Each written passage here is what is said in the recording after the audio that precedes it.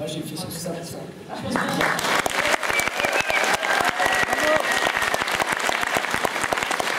Maintenant, c'est totalement. On va, prendre le rangard, hein, je crois. Hein. Ça commence à être long. On regarde un extrait du film, s'il vous plaît.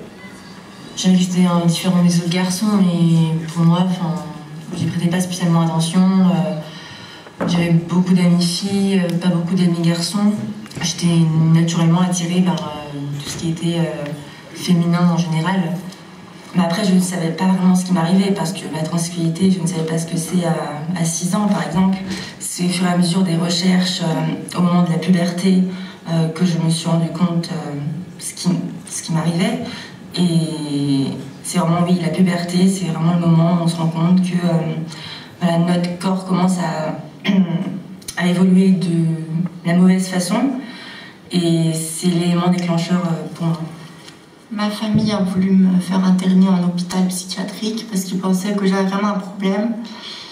Euh, ma mère me disait que c'était parce que j'avais des tendances suicidaires, mais je sais très bien que c'était parce que je suis trans et que ça les gênait. Et du coup, j'ai fugué. Il y avait plein de neige, c'était en plein hiver, plein de neige, le brouillard, il faisait très froid. Je me suis cachée euh, dans un buisson et il y avait de la neige et je voulais me laisser mourir dans la neige parce que j'en avais marre, je ne voyais pas de solution en fait.